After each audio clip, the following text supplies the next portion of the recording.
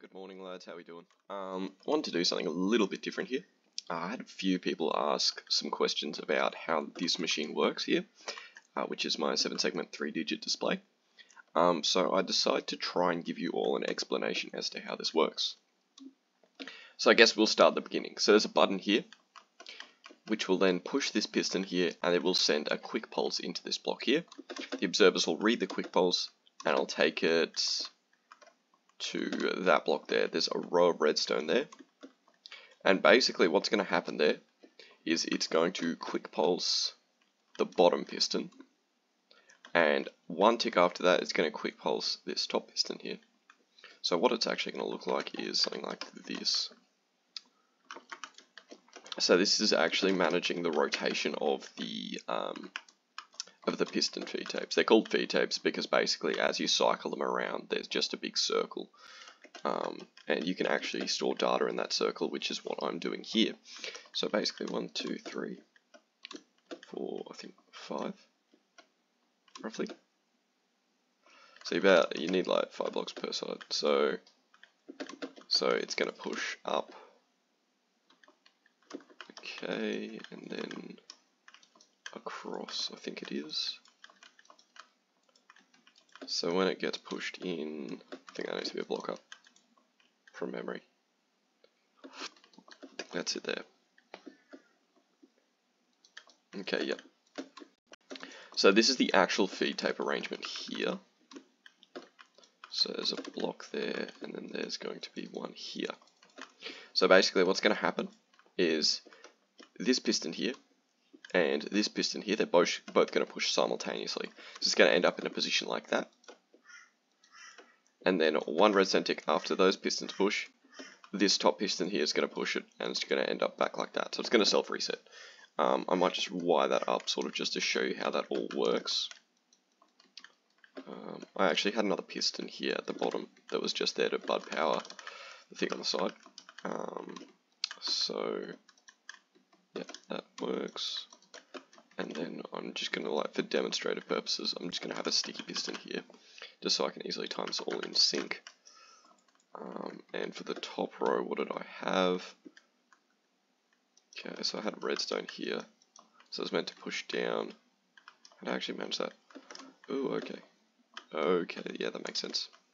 And then I actually had a rail so I was powering the rail to get that um, zero redstone delay uh, sort of thing, just where you can transmit a, a signal with less redstone delay. And then I just had it just like that.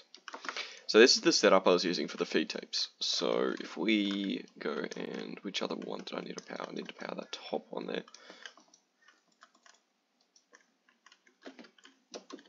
This won't um, take place for today's video. I'm still going to do today's video.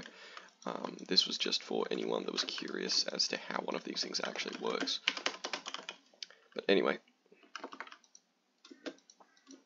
So you can see when I press that, it does cycle that little circuit there. So, yeah, there we go.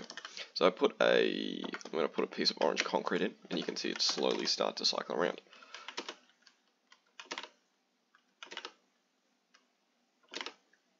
Yeah. So you can see this, this mechanism will slowly cycle that piece of orange concrete around. Now the cool thing about this mechanism, and what I'm actually doing in here, you will notice there are glass blocks. The glass blocks aren't spread out evenly, and they aren't really spread out in a pattern. But basically what I'm doing is I'm using the glass blocks as a sort of binary um, signal. So when there's a glass block, that's zero. And the reason why I say it's zero is because I'm using a redstone torch here. So you'll see along there, there's a row of redstone torches. Now basically what's going to happen is it's only going to be powered at certain points. Another neat thing you will notice just very, very quickly about this feed tape here is it has 10 blocks. So if we count, um, actually I don't want that there, I want that there. Yep, okay. So if we count the blocks around, so we've got 1, 2, 3, 4, 5, 6, 7, 8, 9, 10 which also happens to be the amount of numbers that we want to cycle through. 0, 1, 2, 3, 4, 5, 6, 7, 8, 9, 10. So when we fire this, you will see, as it changes around, there will be certain spots where that redstone lamp is no longer, I just broke it. Oops. what to do. Jesus. Um, is that okay? I think that's okay. I need a block there, I think. It's gonna push, it'll push up, then across, and then that'll push down, then across, but... Oh, stop it. That's annoying. Oh, okay, that's why. That should be okay now. It was just that, that piston there was trying to power a transparent block, so it was just pushing it straight through. Anyway, um, so there needs to be a block there because that one goes first, and there needs to be a block there because that one goes first. We fire that again, and I broke it again. What the fuck? As you can probably tell, I didn't really have this. Oh well, I actually didn't have this issue with the other clock there.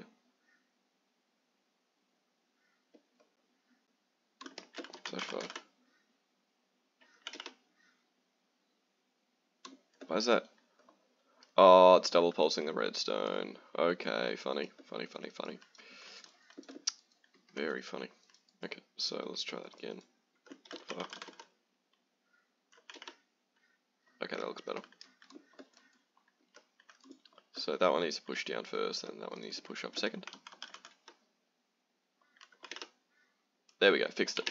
So now you can see that um, that little feed tape there is pushing around in that circle. And you can see when there's a cobblestone block there, the redstone lamp is on. But when there's a glass block there, the redstone lamp is off. So that's that's sort of how I'm powering the top blocks. And I have eight of these little circuits here. So the first seven, and the reason why this is called a seven segment display, is because it has seven individual segments on top. So what I've done is using these feed tapes here, I have seven individual feed tapes that each manage their own little segment. So when I want a certain part on or off, depending on the number that I want to display, I just have a glass block there um, to turn certain pistons on and off. Um, the reason why I used honey blocks here as well is just so the sticky pistons or the slime blocks and the honey blocks don't interact and they don't create like a bit of a mess. Um, but yeah, so I've got seven separate feed tapes, each managing their own little segment, and then I have this final feed tape at the very, very end here. Now this feed tape doesn't manage its own little segment. What this feed tape actually does is it manages the next segment along. So when this reaches 10, what's going to happen is there will be a cobblestone block there. Now when that cobblestone block goes there, um, it will actually power this piston here, which pushes, pushes that observer forwards, and it will then power this next feed tape.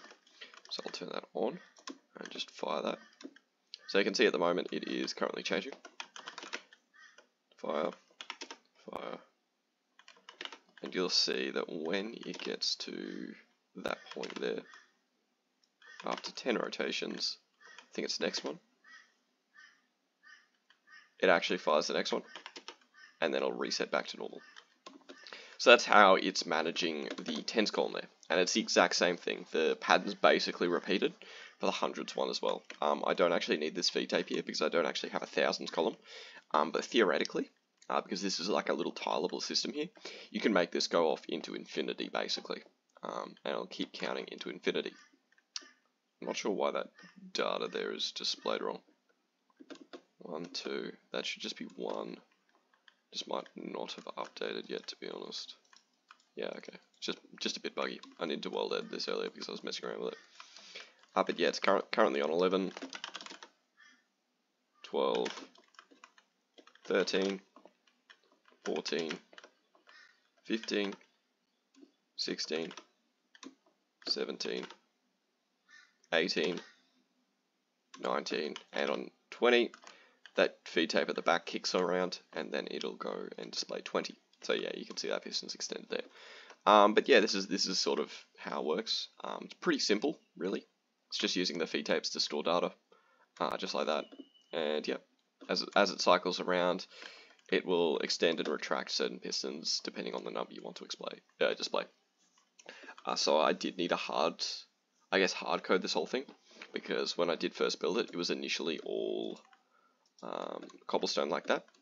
And I just picked a random point, said it was zero, and depending on the digit that I wanted to display, what I actually did is I sort of got into the middle of it just here, and I replaced certain blocks like that depending on the digit that I want to display.